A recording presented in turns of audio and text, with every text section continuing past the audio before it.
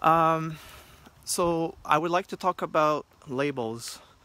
Um, I had a few people this week asking me questions about how did I get started, where did it, uh, where did it really sort of uh, trigger the, the beginning between uh, what was a hobby and then becoming more on the field of professional slash semi-professional.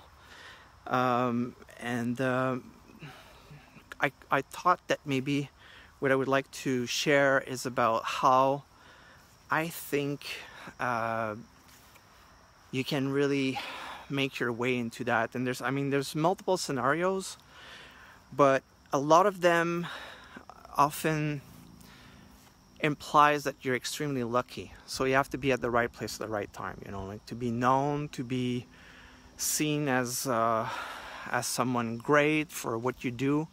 Uh, you need to be heard by the right people, and with the flood of music that we have, it's a bit difficult to to kind of find your position in there. Um, so how do you stand out? Like how do you how do you really make it roll so that at one point it gets really interesting. And my take is that, you know, if you want to be a touring artist, um, if you want to be an artist that plays a lot of gigs, um, a lot of people go in a club a few times and they want to become DJ, but one of the most important trait is to live the club life uh, and know it, like really know it, both on a personal level where you meet people for fun, you're there for the music, you listen to a lot of music, you you get to know how's the levels, what what is a great DJ set, what is a bad DJ set, what are the great conditions to be in a club to as a person, and also watch how people react to music. Uh, you know like if you're on the dance floor with lots of people and you have a lot of fun make, listening to music you get to be sort of um, submerged with the vibes of the music. Like how is the music contributing to that? If you want to get signed by record labels so there's many options to do you can make really amazing music, but it doesn't mean or it might not get to the ears of the person that is the right candidate to release your music on their, on their label. So, if you start uh, doing your thing and then you start getting some gigs and then you kind of get established, um, there's an also a good thing about um, living the, the, the, the club life, like I was saying, is you'll get some friends and you get some important network. And that network means that if you play a DJ set, you won't have to uh, go after everyone and say, please come to my gig. Your friends will naturally come.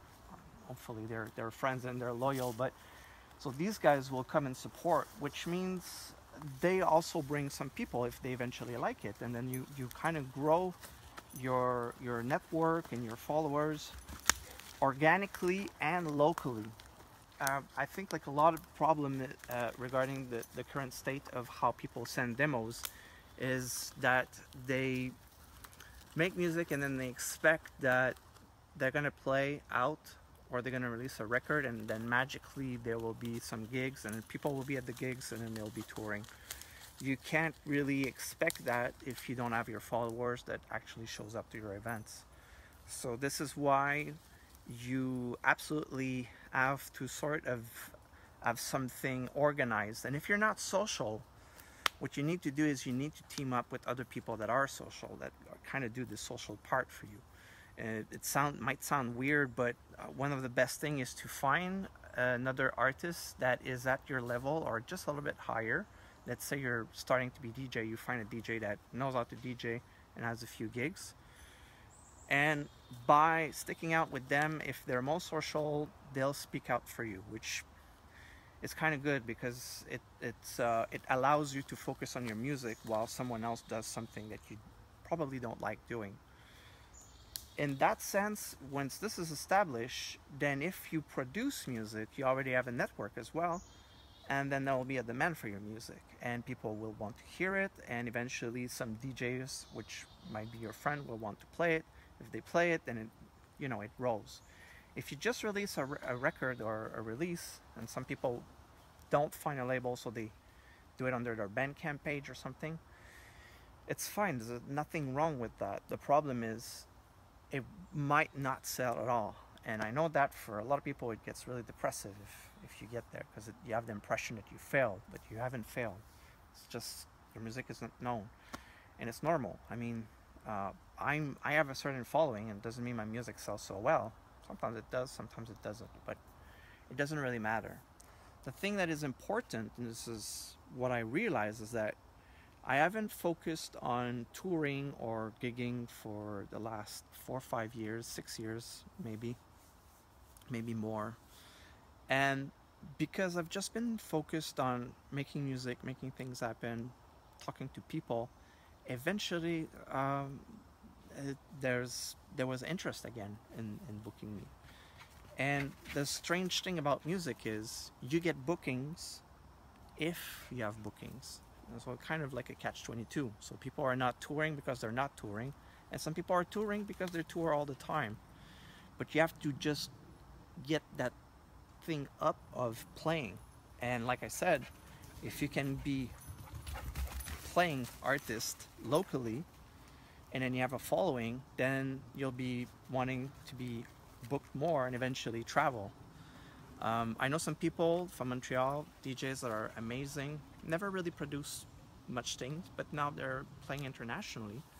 So uh, I know it's possible, and there's tons of people doing it.